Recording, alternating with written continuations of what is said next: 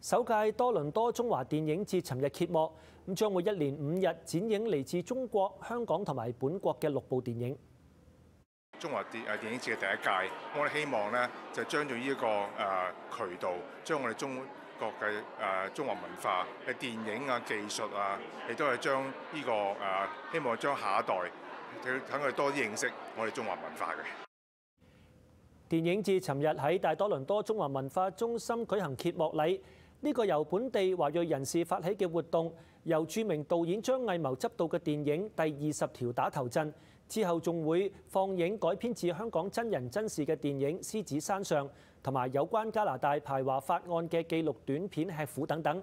而為咗鼓勵新一代電影創作人，多倫多中華電影節仲設有五個短片獎項，獎金最高達到五千蚊。今次嘅電影節嘅淨收益，亦都將會捐往大多倫多中華文化中心同埋怡康基金會，支持社區文化同埋祈老服務。